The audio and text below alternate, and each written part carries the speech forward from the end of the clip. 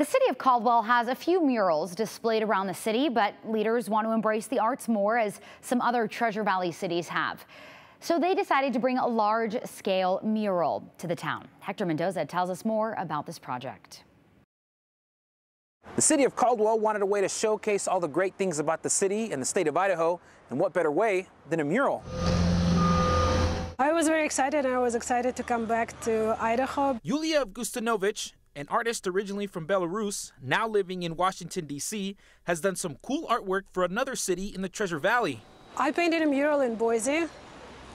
I don't know if you saw it. It's uh, Jefferson Building. It's right downtown near the city. That mural caught the eye of the city of Caldwell. We were just blown away by what she had designed and what she had put together. So it was a pretty easy sell for us, quite frankly. Stephen Jenkins, the economic development director with the city of Caldwell, says they were also impressed with Avgustinovich's design proposal for Caldwell's first large-scale mural on the outside of the new apartments near Indian Creek Plaza. So this artist is from outside our area, and she was able to incorporate some components of Idaho and, and also the city of Caldwell that we felt were, were very interesting and intriguing to not just our history, but the, but the future of where the city's going. There is a coyote. It's hard to see from here, but it's a mascot of uh, College of Caldwell.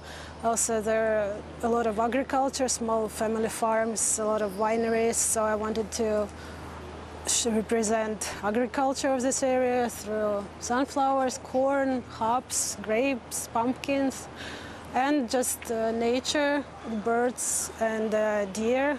That's not the only mural that is a part of this project. The city of Caldwell also wanted to use this new empty canvas on the inside of the wall of the new apartments to showcase the roots of this city.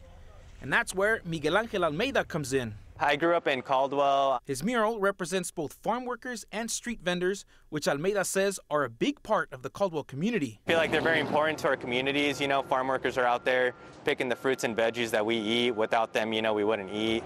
And then uh, street vendors, you know, like Caldwell has so much good food. And there's times, you know, where I would just go see somebody out with a stand selling elotes or the paletero. So I kind of wanted to honor that. The city hopes that with this mural, it is the start of more art being incorporated to add to the vitality of the city. In Caldwell, Hector Mendoza, Idaho's News Channel 7. Yeah, Caldwell changing every single day. This large-scale mural will be completed by the end of the day tomorrow. The smaller mural inside the new apartment building should be done within the next two weeks.